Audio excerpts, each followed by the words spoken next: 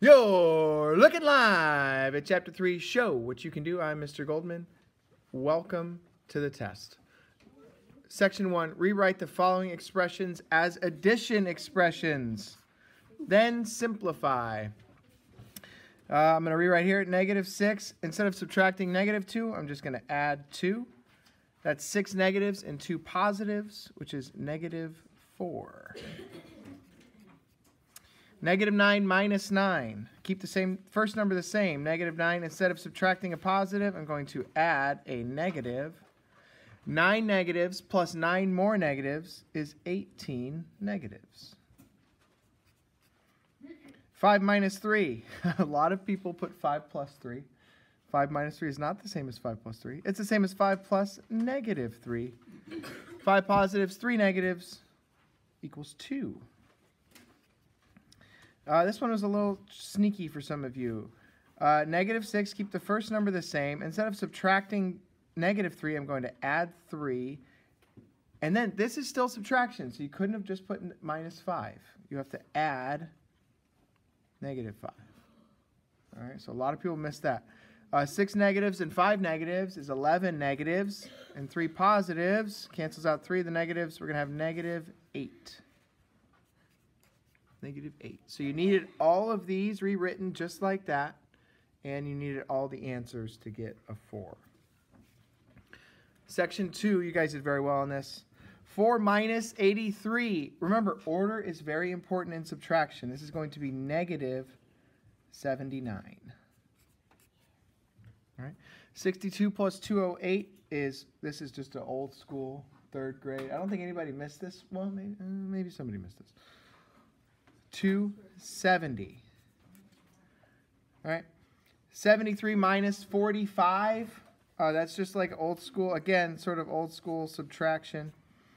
Right, you can go 6 and 13. That's five, 13 minus 5 is 8. 6 minus 4 is 2. And it's going to be positive because I'm starting with the higher number.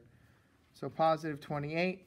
And then 1 minus 12. Again, order matters. This is not the same as 12 minus 1. 1 minus 12 is negative 11. All right, there we go. On to page 2. Section 3, simplify. Show how to write each of the following as a numerical expression. All right? Numerical expression.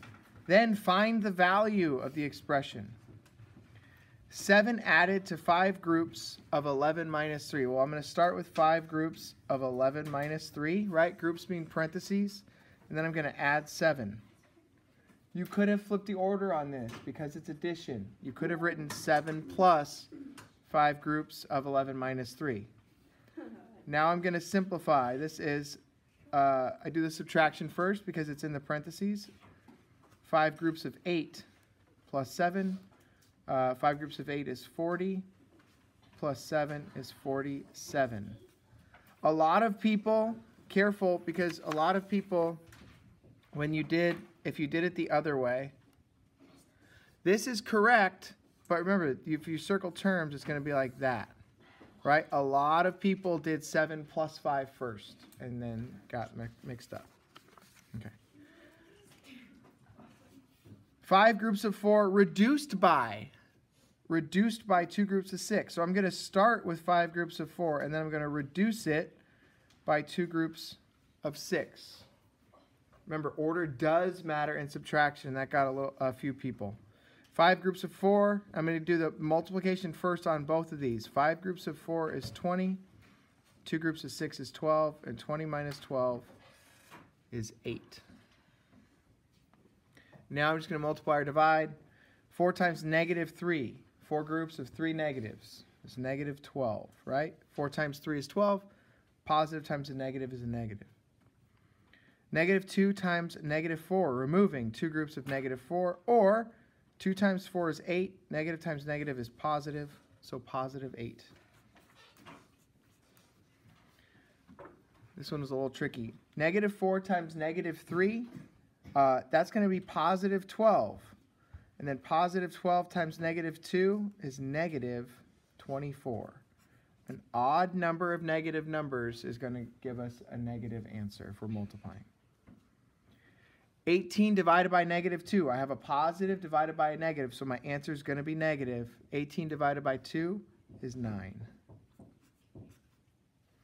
Negative 24 divided by negative 3. It's a negative divided by a negative, so my answer is going to be positive. 24 divided by 3 is 8. Negative 45 divided by 9. Negative divided by a positive is going to be negative. 45 divided by 9 is 5. All right, there you go. This, this section was funny. Either people got them all right or all wrong because they got the, the, the words mixed up. Uh, remember, associative property is what? Grouping. And then the commutative property is what? Order. All right. Uh, I am going to cheat. Uh, you should have written it out, but I, since I wrote, wrote them out up here, I'm just going to write AP or CP. For step one to step two, notice my group here is 3 plus 19. My group in step two is 2 plus 3. That's a different group. I've changed the grouping, so that is the associative property. Then I added. From step three to step four, I go 5, 19, 2, 4. 5, 19, 4, 2. The order has changed.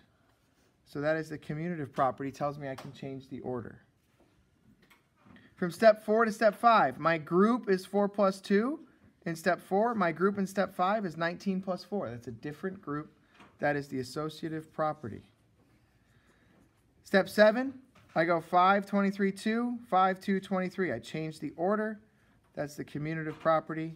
And then this last part, you could have written addition uh, or just 30.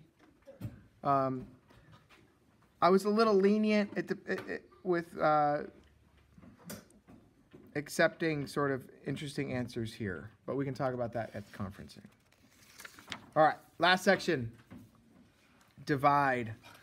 This is one and one third, not just one third. All right, I'll show both ways to do this problem. The first thing you're going to do in both is convert this to an improper fraction, which is 4 thirds. So 4 thirds divided by 1 sixth. We'll do the common denominator method first. My common denominator is going to be 6. So I multiply 4 thirds uh, by 2 over 2. My giant one is 2 over 2. I get 8 sixths divided by 1 sixth. Now that I have a common denominator, I can just forget about it and divide the numerators. 8 divided by 1, which is just 8. If I do uh, multiply by the reciprocal, if I start with 4 thirds divided by 1 sixth, that's the same as 4 thirds times 6 over 1. I can cross simplify here. 3 goes into 3 once, 3 goes into 6 twice. I get 8 over 1, or 8. You could have also just multiplied across and got 4 times 6 is 24. 3 times 1 is 3. 24 divided by 3 is also 8. So the answer here is 8. All right, a lot of ways we could have done this one. Uh, the way I want to set this up is 6.6 uh, over 0.24. I'm going to multiply by 100 over 100. And that's going to give me 660 divided by 24. All right. At this point, you can just simplify the fraction if you would like to. Um, or we can uh, do long division. So you'll have this problem set up. 660 divided by 24. I'm going to put this decimal place here already because uh, I have a feeling it's not going to go in evenly. And then I'm going to bring it up here also so I don't lose it when I do the long division. 24 goes into 6, six zero times, so I'm not going to put anything. 24 goes into 66 twice, so I'm going to put the 2 over the second 6. 2 times 24 is 48. My remainder is 18. Bring down the 0. I want to see how many times 24 goes into 180, and that happens to be 7. 7 times 24 is 168 with a remainder of 12. I bring down this 0.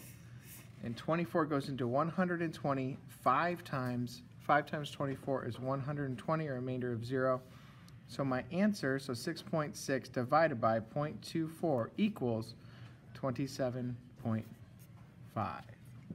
Thank you for watching. Please, if you're in my class, use the Google form to sign up for a retest.